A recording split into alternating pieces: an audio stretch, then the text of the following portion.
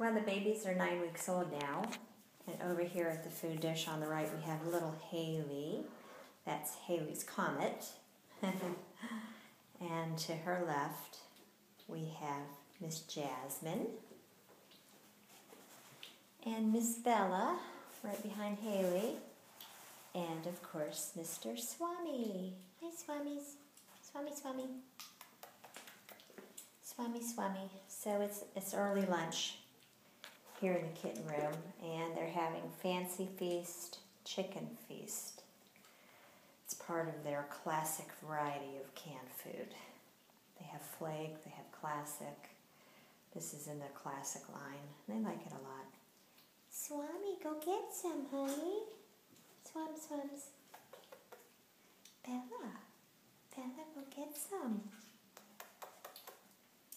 And mom's up in the cat tree. Kittens are doing very well. They're really sweet, wonderful kitties. Hi, Swamis. Hello, Swami. Hi, Bella. Hi, Bella. That's a good girl you are. Yes. Here comes Bella. Here comes Bella with Mom. There's Natty, baby. Natty, Natty, and Bella. Mm-hmm. Yes, Bella's a good girl. Oh, oh, my mama's knocked Bella right off the right off the shelf. Yes, I know, Natty. I know, Bella. You should object. That was not nice. Hello, Swabs. Hello, Mr. Swamis. He's a good boy. She's squawking up a storm. Yes, come here, Swami. Come tell her about it. Come tell her about it. Swami's coming. You coming to see that crazy mama? You coming to see your crazy mama? Yes, a good boy. Mm-hmm. Swami's a good boy. What?